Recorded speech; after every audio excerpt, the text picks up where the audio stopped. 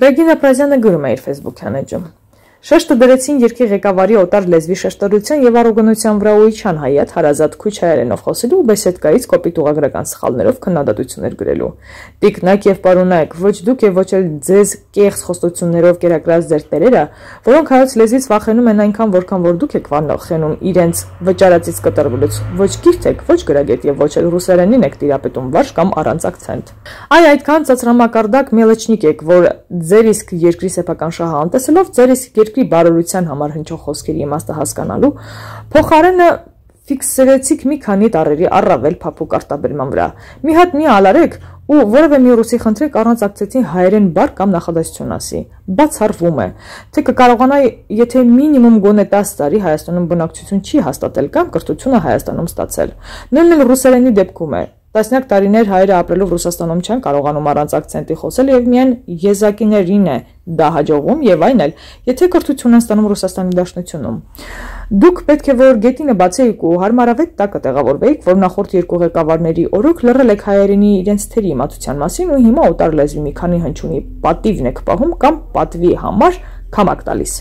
Մի հատ ստապվեք, արդեն նողկանք է առաջացնում ձեր անիմաստ նռոցները։ Ոչ օբյեկտիվ եք եւ ոչ էլ adekvat ձեր իբր քննադատությունների մեջ եւ դա էլ գալիս է կրթության պակասից։ Առողջ քննադատությունը չի դիապետելուց, բայց փոխարեն նահանուն սեփական գրպանի օստամոքսի սեփական երկրի պետական շահը ծալած ունենալուց։ Ու հանկարծ չմոռանանք, որ քննադատողներդ падոնկներին ասում եք Պադագոլնիկ, կրավատին, կառավատ հայերենի քերականությունից էլ գաղափար անգամ չունեք։ Դե հոդի փոխարեն տա գրող սմայլիկ։ Հայկ Թորյանը գրում է իր Facebook-յան էջում։ Ռոբերտ Սայիդովիչ, այդ ակվարիումի ձկնաբոցարանի իշխանիկին ասա, որ այ գուպի։ Դու բացի 2018 թվականի Հայաստանի փողոցներում իրար մոտ կանգնած 40-ից 50 հազար մարդ տեսած կաս։ Աչքիս ես գուպի աչքերը շլդիկացել է, կալկուլյատորն էլ փչացել է։ Ոնց մտածում եմ, նույնիսկ Ռոբի ակվարիումի գուպին, եթե այդ ցուցարարների ոտքերն ու ձեռքերը միասին հաշվեր, չէր կարող 40-ից 50 հազար թիվ ստանալ։ Հագա։ Ռոբի ընտանեկան ակվարիումի գուպին վերջերս անգամ ճիճու է կերել, որ իսկապես իրեն իշխան է զգում ու ամբողջ խնդիրը նրանում է, որ այնպես ոգևորված է բաղավում, թե բա 40-50 հազար մարդ կա, ու որ Փաշինյանին հեռացնելու է, որ ինքն էլ է սկսում իր հեքիաթին հավատալ։ Մեկ քառակուսի մետր տարածքում նորմալ կանգնելով երկու մարդ է տեղավորվում, բայց եթե խտրությամբ կանգնեն, ապա 3 մարդ, ուստի 50000 մարդ հավաքվելու պարագան 17000 քառակուսի մետր տարածքում այստեղ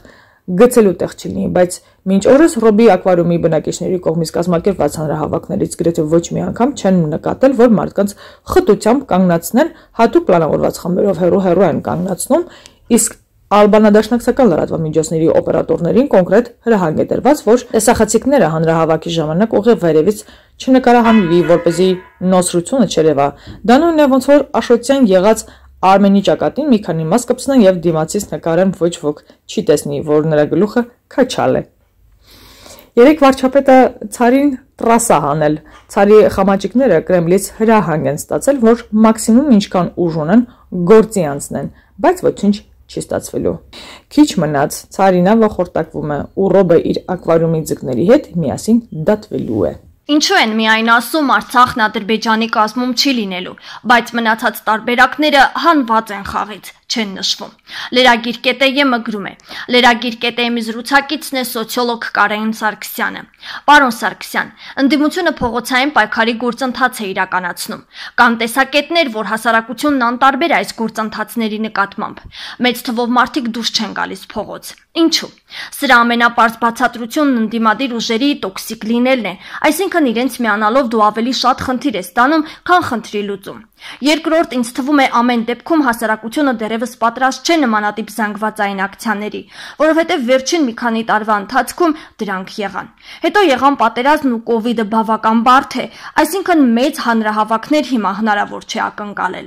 Եվ ամենակարևորը, ես չեմ կարծում, որ փողոց դուրս եկած ընդդիմադրության օրակարգը հասանալի է մարդկանց։ Եթե փորձեն գնալ մարզեր ու մարդկանց հարցնել Երևանի կենտրոնում ինչու են վրան խփել, կարող են ձեզ ասել, չգիտեմ, անգրագետ չոբաններ են, դրա համար են այդպես անում։ Պահանջները, որոնք ներկայացվում են, որևէ կերպ չեն ենթադրում վրաններով Երևանի կենտրոնում նստել։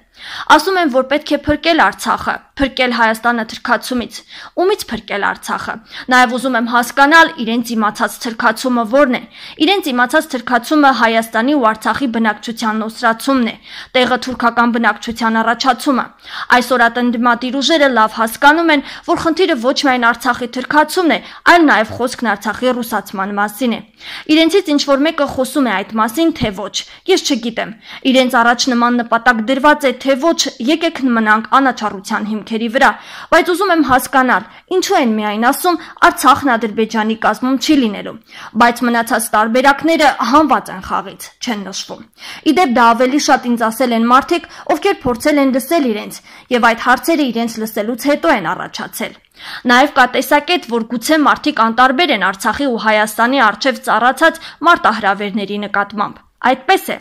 Մարդն անտարբեր է, թե մտահոգ դա ոչինչ չի փոխում։ Նմանատիպ խնդիրները լուծվում են կաբինետներում, բարձրաստիճան չինովնիկների կողմից կամ ազգային ժողովում։ Հասարակ մարդուց ինչ կարելի ակնկալեր, որ մի հատ էլ parzենք, թե ինչ էմոցիաներ ունեն։ Այս ներքաղաքական զարգացումներին արտաքին միջամտություն նկատվում է։ Ի սկզբանե եղել է ռուսական միջամտությունը։ Հիմա այս իրավիճակում անգամ հավատս չի գալիս, որ ռուսները նրանց վրա փող կծախսեն։ Երկուշաբթի Ռուսաստանի Դաշնության մայրաքաղաքում տեղի ունեցավ հապկանթամ երկրների ղեկավարների գագաթնաժողովը։ Չնայած միջազգային լարված իրադրությանը պայմանավորված ուկրաինական ճգնաժամով մեծ ակնկալիքներ այդ գագաթնաժողովից ըստ էության չկային։ Վերջին շրջանում արտաքին քաղաքական ակտիվ գործունեության շարքում վարչապետի այցը Մոսկվա եւ մասնակցությունը ՀԱՊԿ գագաթնաժողովին առանձնահատուկ կարևորություն չուներ։ Այդուհանդերձ հերթական այդ հանդիպումը կարևորվեց Նիկոլ Փաշինյանի ելույթի տեսանկյունից, որը անտարակույս իր մեջ ներառում էր ՀԱՊԿ-ի արդյունավետ կենսագործունեության վերաբերյալ անթակույց կասկածներ։ Այդ կասկածները լեգիտիմ են, եթե հաշվի առնենք կառույցի բնույթը եւ հրճակած նպատակները։ Սառը պատերազմի դարաշրջանի ավարտից ու միջազգային անվտանգային ճարտարապետության վերափոխումներից հետո ՆԱՏՕ-ին հակակշռող կառույցի որոշումները ՌԴ-ին ի վերջո հանգեցրել էին ՀԱՊԿ-ի ստեղծման գաղափարին։ Հայաստանը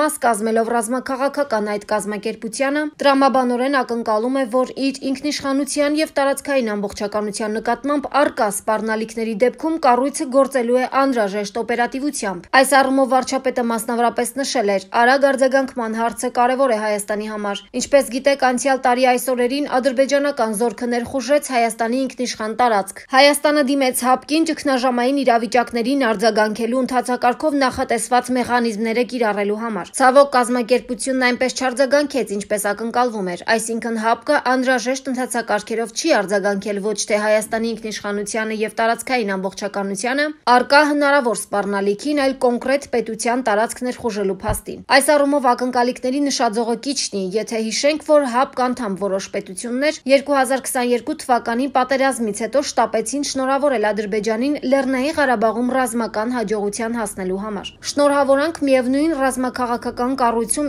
իրենց հետ միասին անդամակցող պետության հետ արճակատման գործում հաջողության համար։ Սա ի ցույց է դնում ՀԱՊԿ-ի գործնականում մեռյալ մարմին լինելու իրողությունը։